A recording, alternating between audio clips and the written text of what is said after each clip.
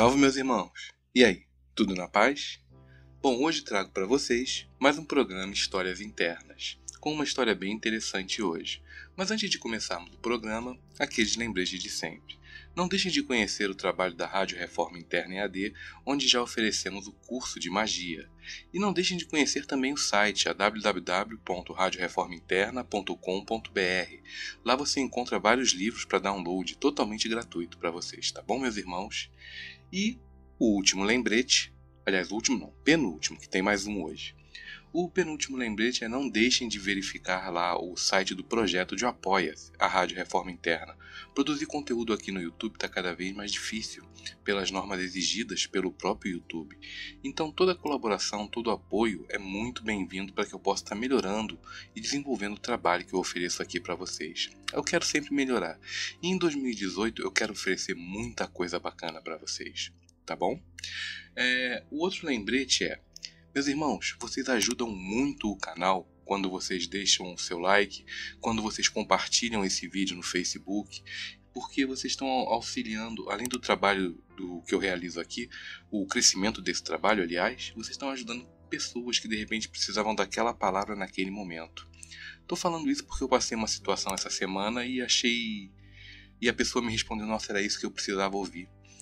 E eu achei muito interessante isso, então achei legal compartilhar isso com vocês, porque não só o benefício do canal, mas também das pessoas que recebem o conteúdo. Tá bom, meus irmãos? Vamos lá. Olá, João. Meu nome é Alice. Tenho 26 anos e vou te contar uma história que aconteceu comigo. Mas antes de começar, devo te dizer que sou um pouco sensitiva desde criança.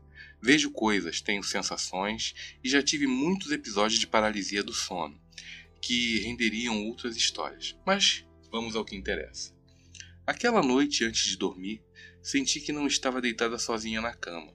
Eu senti uma presença de um homem.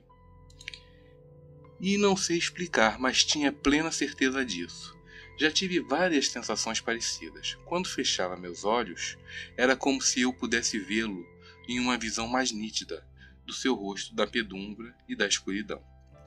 Bem ali o cara comigo, perto demais, abri os olhos, orei por proteção como faço todas as vezes antes de pegar no sono e disse: Por favor, não me assuste. Então peguei no sono. Eram mais ou menos umas 23 horas. Então eu comecei a sonhar. Depois percebi que eu estava tendo uma paralisia do sono, num estado de sono consciente. Numa tentativa de acordar, quando só eu conseguia, era respirar eu conseguia era respirar por ajuda? Não, acredito que ela quis dizer que, ela, eu queria procurar por ajuda. Então eu comecei a sentir a presença de um homem irritado, perto da minha cama. Consegui acordar por duas vezes e o evento voltou a acontecer.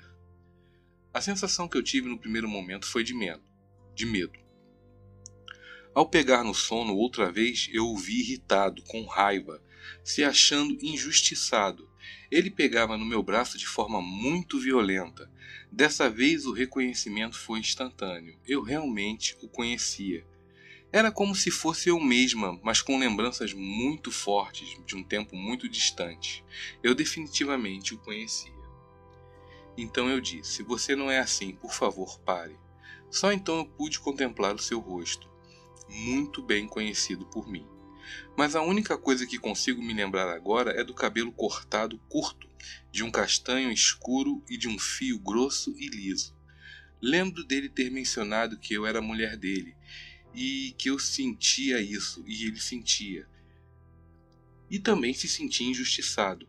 No entanto, não tinha rancor com relação ao meu namorado da vida atual. Ele nos conhecia. O meu sentimento nesse momento foi de pena, mas além disso, eu tinha um sentimento muito forte e inexplicável por ele. Me lembro de ter comparado com o sentimento que eu tenho por meu namorado, com o qual tenho um sentimento enorme, mas com meu namorado atual era como se fosse uma coisa arranjada. Hum, perto daquilo. Ah, tá, entendi. O sentimento atual com o namorado era como se fosse uma coisa arranjada perto do sentimento que você tinha por ele. Tá, entendi. Era muito diferente, era grandioso, arrebatador. Não tenho palavras para explicar. Me lembro dele me olhar com ternura, carinho, seu rosto estava triste. Eu falei firme com ele, mas fui cautelosa. Eu disse para ele: Você precisa procurar ajuda. Então, na próxima vida, eu vou ser sua esposa e você meu marido de novo. Ele concordou. No momento em que desviou o olhar de mim, olhou para o chão, e essa é a imagem que eu tenho mais forte. Nós tínhamos pressa enquanto falávamos, como se já estivesse para ir. Fica com Deus, eu disse olhando para ele. Então ele sumiu. O eu te amo ficou mudo. Eu pensei automaticamente, mas senti que não devia dizer. Perfeito. O tempo todo eu tinha plena consciência de que estava sonhando. Eu desejava do fundo do coração que ele ficasse bem, que Deus o abençoasse, que alguém cuidasse dele. Então acordei na minha vida real, na minha cama, na minha casa, em algum dia de maio de 2011. Eu simplesmente não conseguia me mexer, aquilo era muito real. Geralmente acontece que eu, a sua consciência acordou, mas não está totalmente recolocada no corpo. É, não é algo que você tenha que se assustar, não, é até normal. Ah, aquele sentimento era real para mim. Naquela batida de coração, aquele homem realmente existia em algum lugar e realmente iria pedir ajuda. Eu tinha sentido medo, tremia, imersa numa imobilidade repentina. Não conseguia reagir. Eu sentia a ternura, sentia a emoção, sentia a paixão e sentia o apego. Tentei voltar a dormir e consegui. Quando acordei de manhã para ir para a faculdade, aquilo era muito forte. Eu fiquei assim durante o dia todo, como um passar dos minutos veio a dúvida se eu realmente devia acreditar nessa história, mas o sentimento era inegável arrebatador, a coisa mais forte que já senti em todos esses anos de coisas estranhas que eu venho vendo. Foi uma coisa que realmente ficou marcada em mim. Pensei nisso durante todo o dia, sentindo aquele ventinho no coração cada vez que me lembrava dele, muito forte. Hoje as lembranças já não são tão nítidas. Me arrependo de não ter escrito sobre ele naquele mesmo dia. Talvez eu pudesse descrever o que agora eu consigo descrever como forte. Depois de alguns dias eu decidi parar de pensar nele. Eu só queria que ele seguisse em frente e fosse feliz, quer onde ele estivesse, e que Deus o abençoasse, para que ele consiga ficar melhor possível. João, se ficar muito extenso, pode cortar, mudar o que você achar melhor? Não, tá ótimo. Alice, tá ótimo. É, primeiramente, Alice, olha, muito obrigado por você estar tá compartilhando essa essa experiência aqui comigo. Você vai estar compartilhando essa experiência com muitas pessoas que pode estar vindo ajudá-las de alguma forma. Muito obrigado. É, eu tenho duas, é, dois raciocínios, vamos dizer assim, duas, duas conjecturas para essa questão. A primeira delas, eu não acredito que seja relevante a você, mas é uma coisa muito comum que acontece, tá bom? Mas eu acho bacana falar dessa forma para você não ter dúvidas. Pelo que eu senti aqui, é, não é esse o caso. Mas nossos irmãos obsessores são grandes juízes, por assim dizer. Eles, quando você tem um contato com eles, eles gostam de jogar na sua cara tudo de errado que você faz, como se ele fosse um santo. Eles podem tomar a forma que assim desejarem como um membro da sua família que faleceu. Eu antes eu pensava que um espírito negativo é, não conseguiria entender ou ler o nosso pensamento. Eles conseguem ver energia, minha irmã. Então esconder os pensamentos do outro lado é algo que não existe. Todo mundo é o que é. E nós não temos essa consciência. E eles têm. Acredito que variações de graus mais baixos de espíritos e de irmãos obsessores que estejam começando no trabalho negativo agora porque assim desejaram, talvez não tenham essa consciência, mas irmãos mais elevados têm irmãos mais elevados negativos têm essa consciência. Eles conseguem é, perceber exatamente aquilo que pensamos e aquilo que sentimos. E por isso, se aproveitam disso para nos absor absorver a nossa energia. E, embora não tenham moral alguma, julgam a nossa moral. Então é, é, é, algo muito comum. Ah, você fez isso de errado, você faz aquilo, você faz aquilo, como se fosse um, um, realmente um juiz santo te julgando. Quando na verdade não é nada mais daquilo. O interessante nesses casos é você, sei que eu cometi um erro, eu me aceito, eu me perdoo e eu vou seguir em frente e vou tentar melhorar. eu acho que, são, que é a melhor atitude para se tomar quando se tem uma. se encara um irmão desses. E um jeito de de repente também você auxiliá-lo, auxiliar ele tomar na sua. Na, a, tomar melhor, tomar uma caminhada melhor do que ficar simplesmente ali te perturbando. Que a palavra realmente é uma perturbação, uma, uma, uma questão que te suga energia, que te deixa mal. E alguns desses irmãos, eles não são profissionais do mal, não. Eles simplesmente têm uma, uma afinidade com você, talvez por um vício. Fica a dica. Bom, vamos ao teu caso agora, Alice. É... Repetindo, como eu falei, isso não é o caso, essa opinião, ela não é, eu não acredito que seja a mais adequada para você, mas achei bacana compartilhar porque é muito, muito comum. Mas vamos a você agora. Bom, primeiro a tua atitude de dizer que ele precisava ir procurar ajuda. Perfeita. Perfeita. Perfeito você também não ter falado eu te amo. Se você fala eu te amo para ele, você poderia atrapalhar a caminhada dele de seguir em frente. E eu vou falar uma coisa que ela é muito nossa moral, a nossa moral, a nossa ética, ela não primeiramente ela não vai aceitar isso, mas se você analisar de uma forma lógica, você vai ver que é, é funcional. Vou, vou, vou, citar o exemplo do porquê. Da, isso referente quando você disse para ele da seguinte forma: você precisa procurar ajuda. Na outra vida eu vou ser sua esposa de novo. Ponto.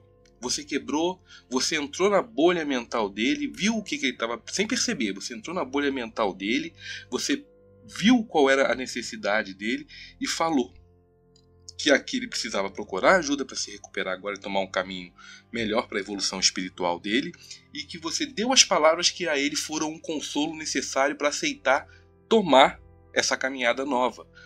Por exemplo, vamos pressupor é, um irmão evangélico desencarnou. Está o espírito dele preso na cova.